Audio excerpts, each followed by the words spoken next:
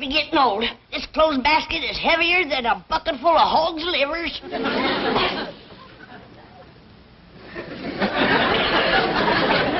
Don't touch it. It's haunted. I bet you little Jasper crawled in there to get warm. Who in tarnation is little Jasper? Hmm. Ain't he cute, Granny? I declare another pussycat. Only this one's all broke out with spots. This here little feller's what you call a jaguar. Where'd he come from? Critter doctor over to zoo said he comes all the way from South America. Down Louisiana way. Nice country. Bring you home to wing. He says, I got away with the critters. Well, you better get away with this one before your pa sees it. He's uh, getting a craw full of you dragging home them critters. Where is Pa? Out front, soling shoes. Come on, little Jasper. I better hide you, Larry.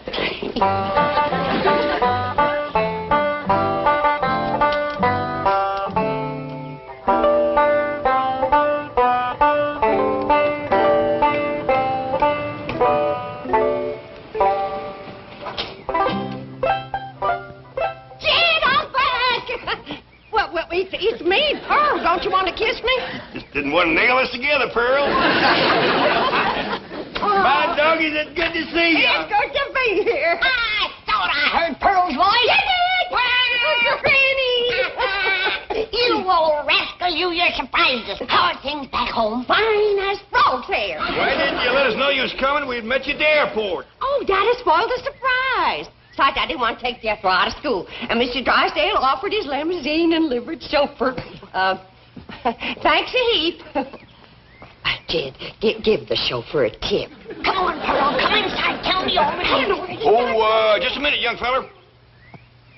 Got a tip for you. Thank you, sir. Plant your corn early this year.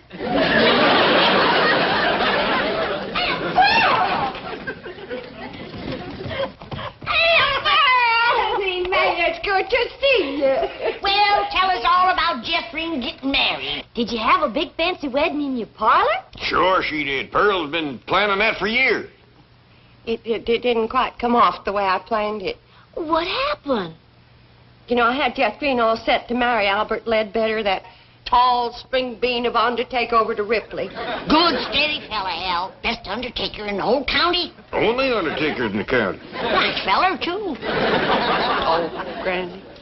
I wish you could have seen the way he decorated my parlor. Well, you couldn't walk for the flowers. Uh, they weren't all strictly fresh, mind you, and uh, some of them still had the black ribbons on them. Oh, flowers is flowers. Al never was one to waste nothing. Well, what happened, Aunt Pearl? Didn't Cousin Jethrine marry up with Undertaker?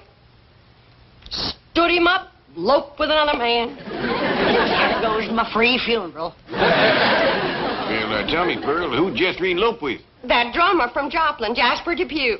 Why, he weren't no more than half her size.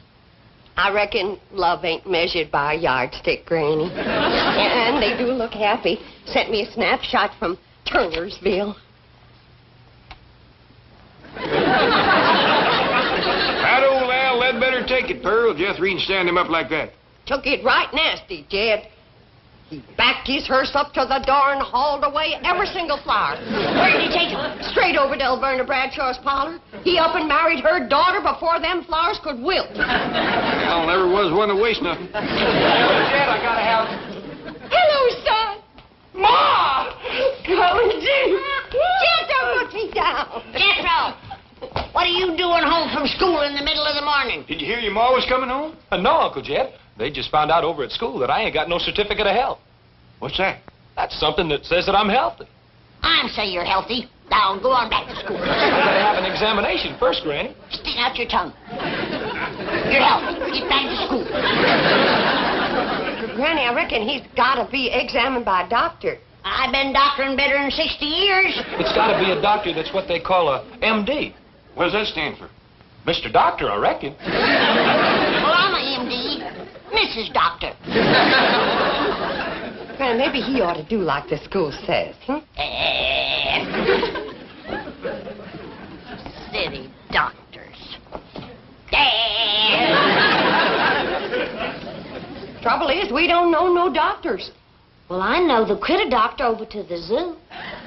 Jethro's a human being, Ellie Mae. Thank you, Ma. We ask Miss Drysdale? I hear tell she's been to every doctor in Beverly Hills. Hey, Marie the maid told me about a doctor she's been going to for seven years. He must be a crackerjack. What's his name? Uh, let me think. Uh, it commences with uh, D. I got it. Dr. Twombly. Twombly don't commence with a D. Well, doctor does. Jethro, you run upstairs and and take a bath and put on some clean underwear and, and get over and see him. Okay, Ma. I sure hope Dr. Twombly don't examine his brains. Analysis is progressing most satisfactorily. Tomorrow, same time. Yes. Well, thank you, Dr. Twombly. And don't worry about the regression into infancy syndrome. You'll overcome this desire to be a baby again. Yes, sir. Thank you, Doctor.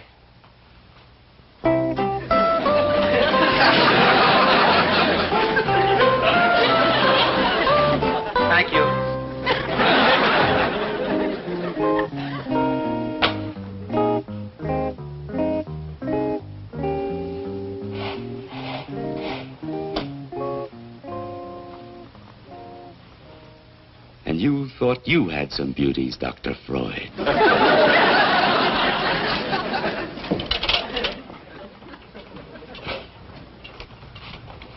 Oh, Doctor, there's one more patient. His name is Jethro Bodine. This is my golf day. You know I don't take patients after 11 o'clock. He was referred by Mrs. Drysdale. Oh, all right. Call Dr. Black and tell him I'll meet him on the golf course at 12.15. Yes, Doctor.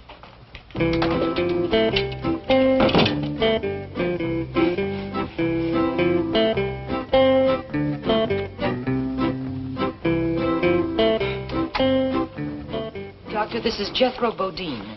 Howdy. How are you, Jethro? Uh, make yourself comfortable on the couch right here. Thank you.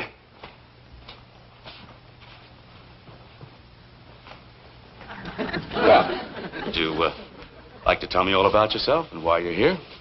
Well, why I'm here is that I can't go to school till I get examined by you. Uh, just lie back and relax. Well, thank you. Now, suppose you tell me about this problem you're having at school. Well, my biggest problem is staying awake while the teacher's talking. Well, that might be nothing more than a benign subconscious rejection of authority represented by the teacher. It doesn't mean that you necessarily lack interest or capability or intelligence. Above all, you mustn't let this cause you any distress.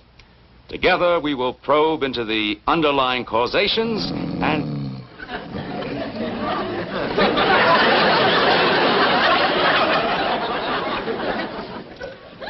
and. so good to feel needed.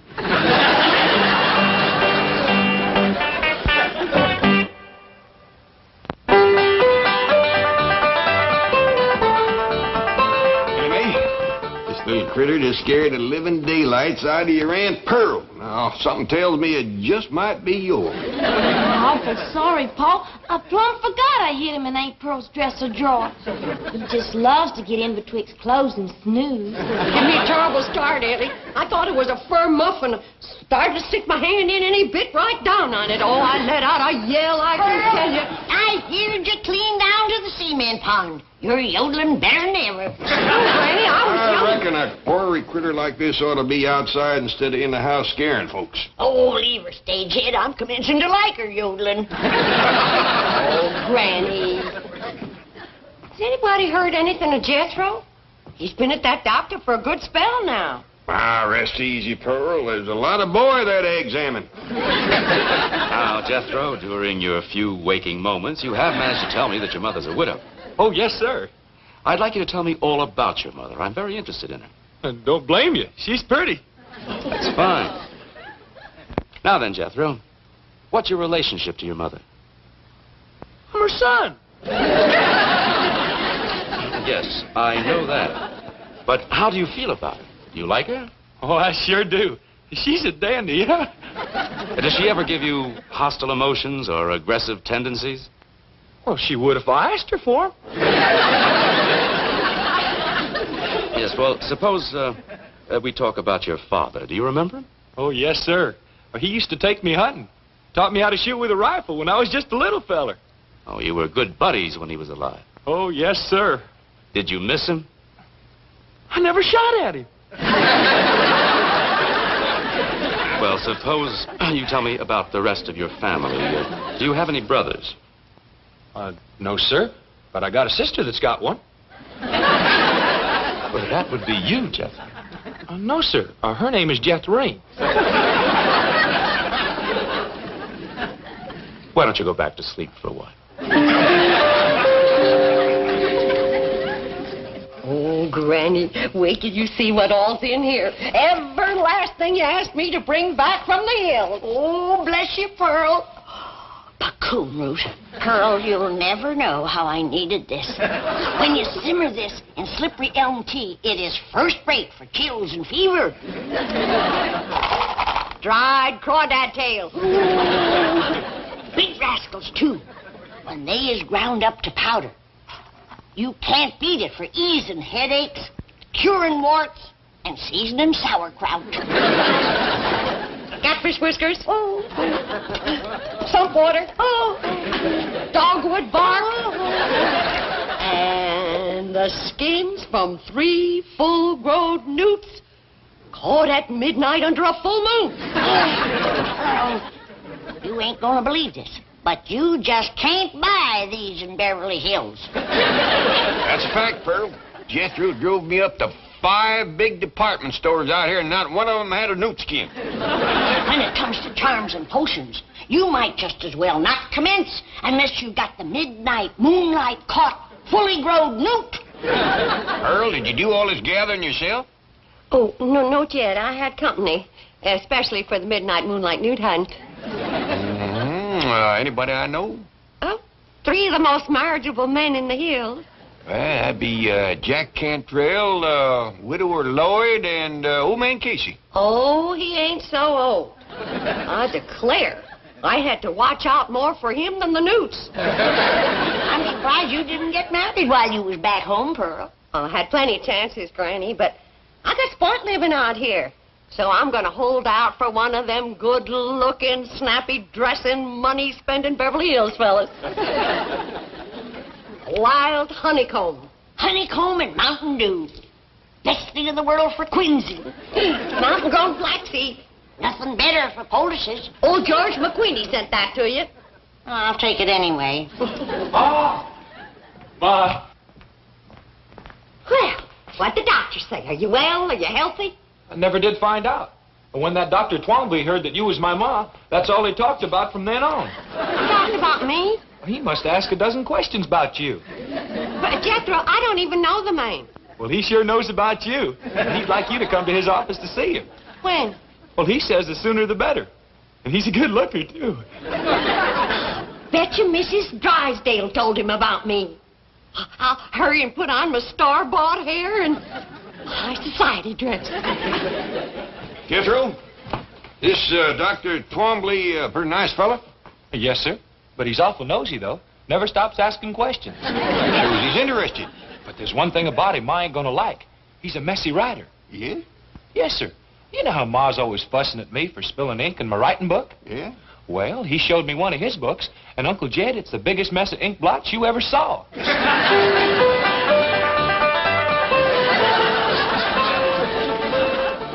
Doggy's Pearl, you're prettier than sun up on a Monday morning. Ma, that dress shines like a new tin can. Ma, I reckon that's just about the fanciest dress ever. Even the things that don't show is fancy. I got the truck waiting, Ma. Jethro, that truck's the mite breezy when you're wearing high society clothes and someone else's hair. I- I'm going in style today. I'll get the door, Ma. Howdy. At your service, Mrs. Bodine. Now, this is the way to live. Oh, I just hope that doctor's looking out his window when I drive up. All aboard. Ain't no two ways about it. When it comes to style, nobody plows a deeper rut than Pearl. Mrs. Bodine, how nice to see you. I'm Dr. Twombly. Bonjour, s'il vous plaît, I'm sure. You obviously are a more sophisticated woman than I was led to believe. Merci, n'est-ce pas? Excuse me.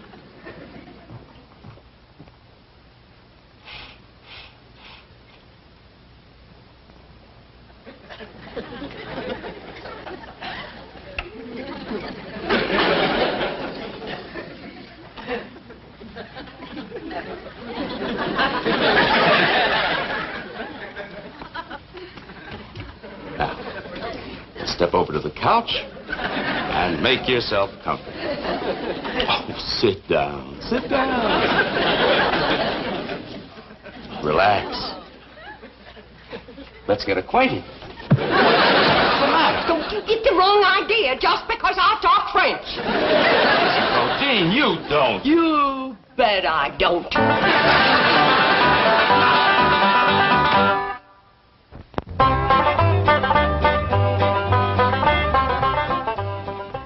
You are, Doctor. And I postponed your golf date until 3. Thank you. Dr. Twombly? Yes, but I'm busy right now. I'm sorry, you cannot see the doctor without an appointment. I wouldn't count on that, ma'am. It might be a good idea for you to leave the room. Who are you? Name's Jed Clampett, blood cousin to Pearl Bodine. Good. It's all right, nurse. Mr. Clampett, I'm glad to see you. Before I shake your hand, maybe I better speak my piece. By all means. Sit down. I'd rather stay stand, thanks, and I'll get right to the point. Back where I come from, we don't take kindly to anybody trifling with our female kinfolks. But, Mr. Clampett, I... I take into account that this is a big city and your ways are probably different than ours. When my cousin Pearl tells me she hadn't no more than said howdy, and you commence pulling her to the settee. By doggies, that's dropping a rusty bucket down my well. Mr. Clampett, you don't understand. I do this every day. I'm a psychiatrist. But I'd try to get cured of it if I was you. Else you're liable to wind up bad hurt. Uh, let me explain and apologize for the mistaken impression. You can come out the house, explain to Granny, and apologize to Pearl. I'd love to come to your house. I want to meet every member of your family. Well, that'll be fine. But keep a tight hold on your feelings. I reckon Cousin Pearl can look after herself, but I got a daughter, Ellie Mae, and I catch you making one move in her direction, you're going to find yourself weighing about three bullets heavier. Pearl, drink this sassafras tea. I bolstered it up with a little Mountain Dew. Calm you down. Thank you, Granny. Pearl, I wish you'd wear this thing or put it away. I keep thinking it's one of Ellie's critters. a bit ago, I tried to feed it a saucer of milk.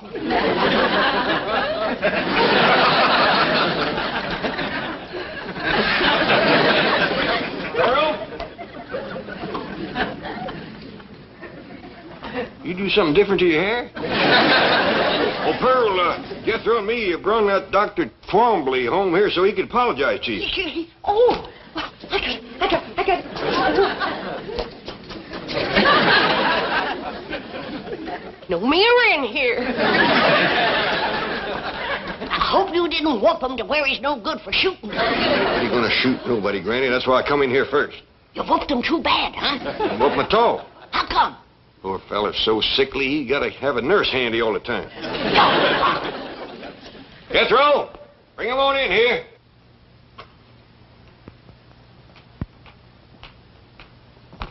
Dr. Twombly, this here's Granny. I'm pleased to meet you, Granny. He don't look too sickly to whoop.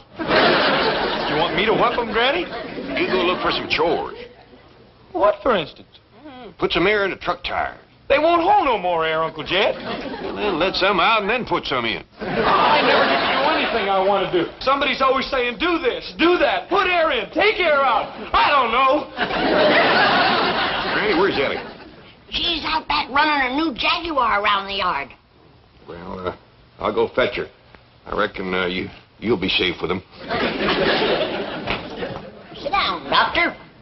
Thank you. So, you call yourself a doctor, do you? Well, I do hold several degrees. All right, Doctor.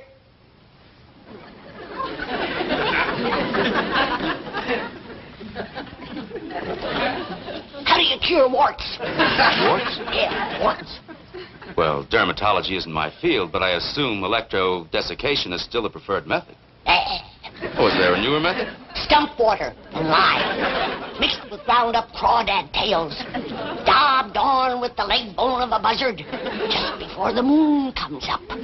Think you can remember that? Well, I'll try.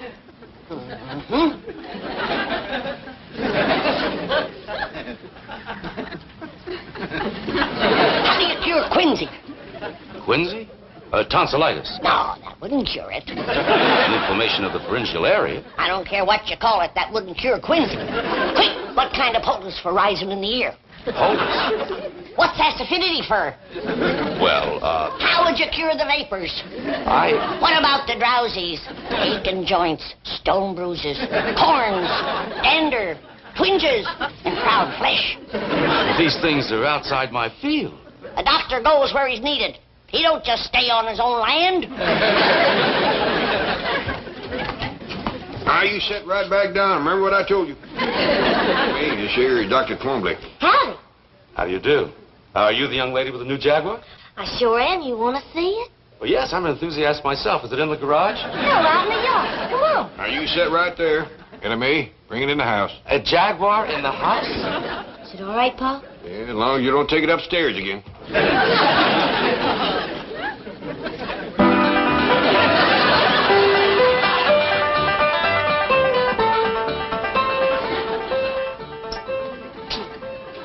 Bonjour again, Doctor. Oh, Mrs. Bodine, I, I am so sorry my actions in the office were misconstrued. They was downright forward, but if you want to court me proper, you can come into the parlor. Uncle Dan, looky here. How'd that happen? Well, I was blowing air into it like this here. When all of a sudden, pow! Jethro, I told you and I told you, use the pump. You always bust the tires when you blow 'em up by mouth. Okay, Ma. Hey, is he going to be my new daddy? Me? I reckon that's up to him, Jethro. We do have a nice parlor for proper courting. Watch out, Pearl. Here comes Ellie and her Jaguar. Oh, goodbye, folks. It's been weird. Doctor, wait, we, we, we, got, we got a big couch in the parlor. As I suggest you get on it, all of you. I'll send someone over. Well, Balda, he, he run out on me. Ooh. Hey, Ma, you want me to catch him and tote him back? Let him go. Let him go. But, Granny, it might be my only chance to get a Beverly Hills doctor. Doctor my foot. Unless Ellie brings home a six-foot duck, you ain't never gonna run into a bigger quack.